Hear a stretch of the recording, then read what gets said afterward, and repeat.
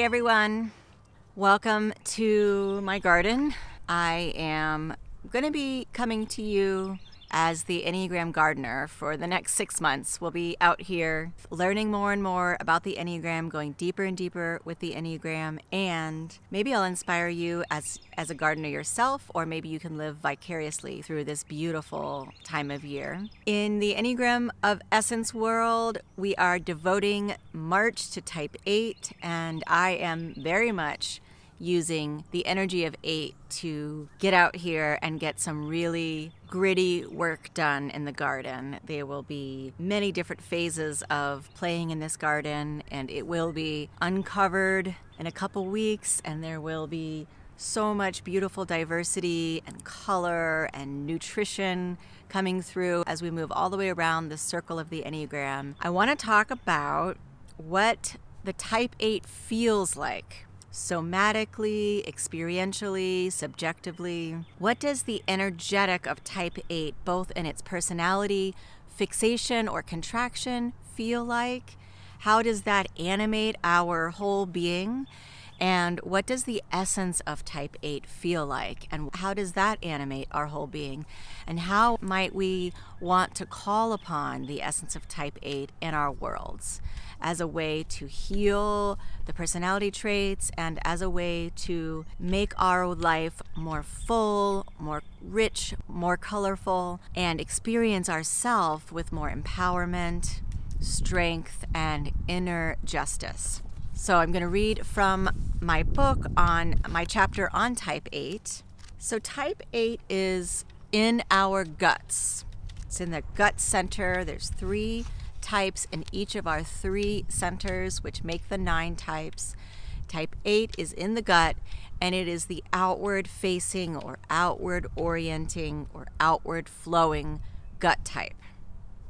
So, the essence of our gut is power, the primary emotion is anger, and eight is pushing that energy out into the world, projecting it out into the world, or orienting it out toward the world. And what does that feel like?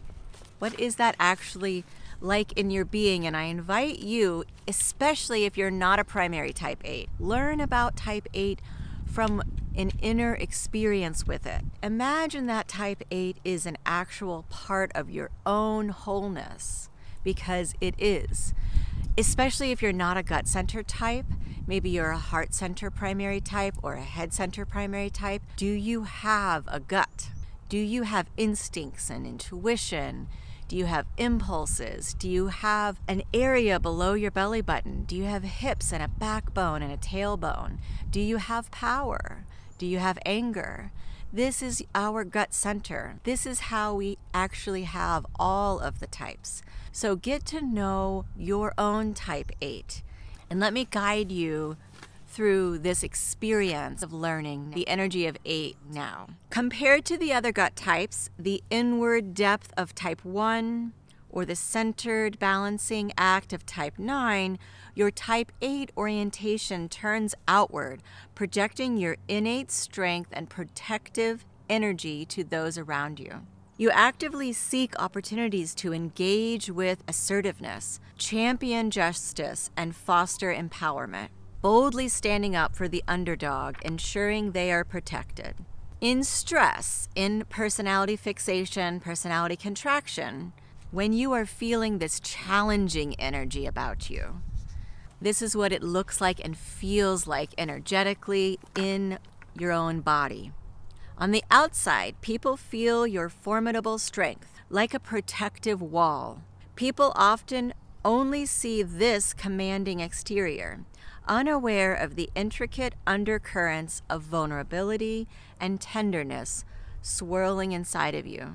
Internally, your gut is like a finely tuned instrument constantly alert to the subtleties in your environment. It's as if every nerve is hyper aware, helping you swiftly distinguish between allies and adversaries. This heightened sensitivity in your gut is your radar, guiding your interactions and decisions. Feel this with me now as if you were orienting out towards the world as if your own face, The primary instrument of how you perceive life and receive information about life is in your gut, below your belly button. Right now, I feel like the lower belly, below my belly button, is very alive and aware, like attuned to the world, facing the world, and even there's an energy moving out toward the world. Even when you seem relaxed, there's a palpable tension in your body, all over your body. Your muscles, especially around your shoulders and jaw, are often taut, ready for action, which could be words.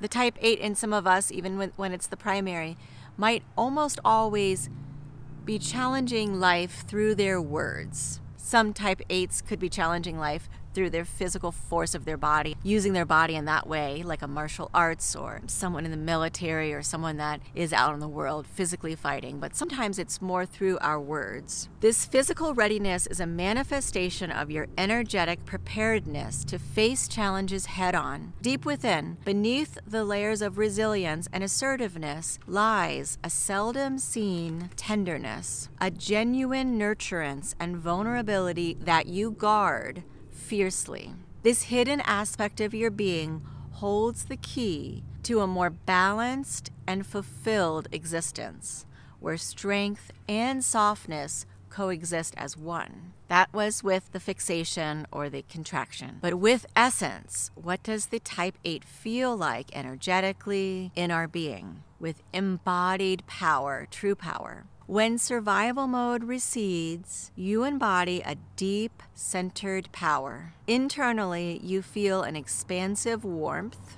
Your gut, once constantly vigilant, now rests in calm receptiveness. The warmth in your chest expands, creating connection through vulnerability. The tension in your shoulders and jaw eases, giving way to a relaxed confidence.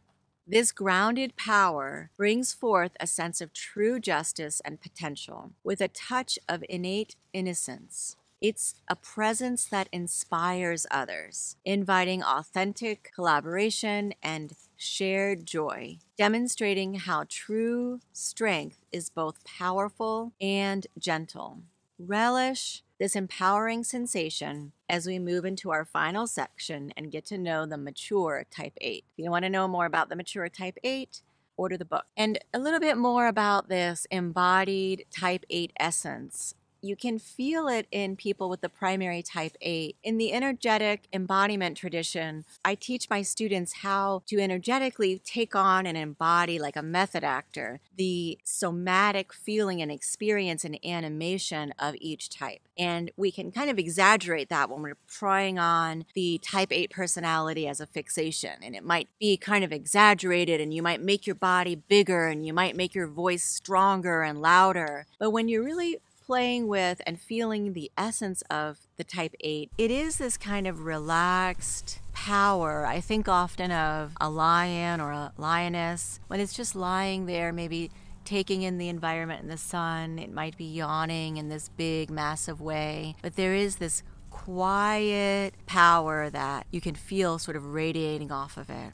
So that is our type 8 embodied and what the type 8 feels like from my book. And I want to celebrate the type 8 now without my words because type 8 is a gut type, it's an action oriented type. What might it be like for me to meditate in this way on the essence of type 8 and get out here in my garden and do some real type 8 kind of work? Really embodying and showing the type 8 in this way.